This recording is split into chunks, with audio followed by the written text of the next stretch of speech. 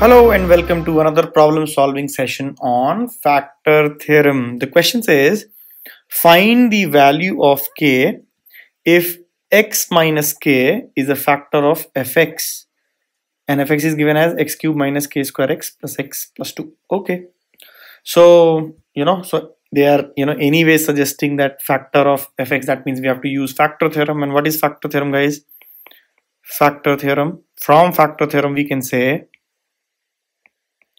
what can we say that if ax plus b is a factor of a polynomial fx then f of minus b by a is equal to 0 correct? This is what we have learned.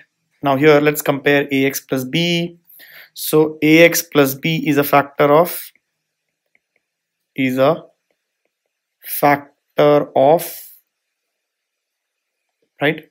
This fx what is fx?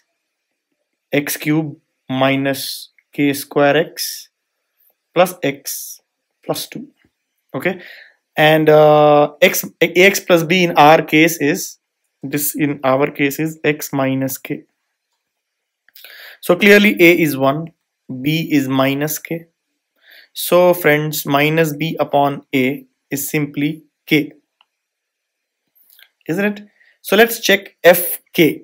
So if x minus k is a factor of fx, which fx? The given fx here, then then f of k must be equal to 0. So let's find out so what is f of k? f of k will be simply k cube just replace x by k. So k square times k plus k plus 2 must be 0. Now clearly k cube and k square k is k cube so gone. So this implies k is equal to minus 2. So if k is equal to minus 2 then x cube minus or x cube plus 2x square or right so you replace k by minus 2 basically. So whatever is the value. So k has to be minus 2 for this particular expression to be divisible completely by ax plus b or for ax plus b to be a factor of this particular polynomial k must be equal to minus 2 now let's look at this question. It says find the values of a and b so that the polynomial fx is equal to x cube plus 10x square plus ax plus b is exactly divisible by x minus 1 as well as x minus 2. So again we'll use factor theorem. So you can say by factor theorem by factor theorem what will happen if x minus 1 is a factor of fx right? Then f of 1 is equal to 0 that's what we have learned right?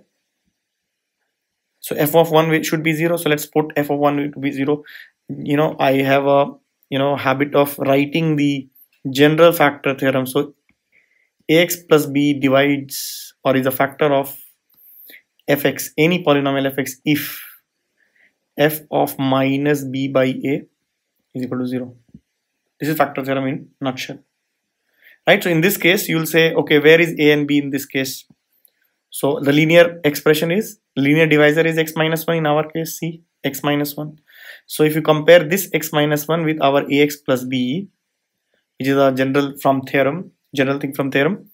Then what is a? a is 1, isn't it? Coefficient of x. What is b? b is minus 1, right? The constant term. So minus b by a simply 1. So hence you see, directly I have written f of 1 is equal to 0. f of minus b by a must be 0. So minus b by a in this case is 1. So hence f of 1 must be 0. So time and again I am talking only in this term because this is the this one is the general form so you must remember this one rather than any specific form so for that matter tomorrow if there is another expression 3x minus 5 or 7x minus 2 whatever then you know what to do in that case right? So what will be how to find out whether something is a factor of fx or not. So in this case clearly we have to simply check f1 is 0 or not. So but then it is given that x minus 1 is a factor so definitely f of 1 must be 0 so hence what is f of 1 deploy 1 in the fx that is you have to find out f1 and uh, value of fx at x equals to 1 will be simply 1 cube. So replace x by 1 10 times 1 squared plus a times 1 plus b is 0 so you get a uh, yeah. So hence if you simplify 1 plus 10 11 so a plus b plus 11 is 0 this is equation number 1 write it like this equation number 1 next x minus 2 is also a factor. So you write since x minus 2 is a factor of fx then again what do we know? f of 2 will also be 0 right? So let's write f of 2 so f of 2 is 2 to the power 3 plus 10 2 square 10 times 2 square plus 2a plus b. And this is also 0 so let's solve it. This is 8 plus 40 10 into 2 square is 40 plus 2a plus b is 0 so that means 2a plus b plus 48 is 0 equation number 2 what was equation number 1 let's write that here. A plus b plus 11 is equal to 0 okay now this is called a pair of linear equation in two variables a and b are two variables. So hence many of you would have not encountered this before. You might worry that how to solve this. It is very simple. You know you can deploy this trick. LHS minus LHS is equal to RHS minus RHS. So subtract these two equations. That means I'm doing 2 minus 1. I'm subtracting second first equation from the second equation. So you have to simply subtract LHS from LHS and RHS from RHS. So let us subtract LHS from LHS first. So 2a minus a. This will become minus. This will become minus. So 2a minus a is a. b and b will go. 48 minus 11 is plus 37 and RHS minus RHS is 0 isn't it so you understood how to solve these two equations LHS minus LHS and RHS minus RHS you did and you get a plus 37 is equal to 0 so a will be clearly minus 37 right? So you got a.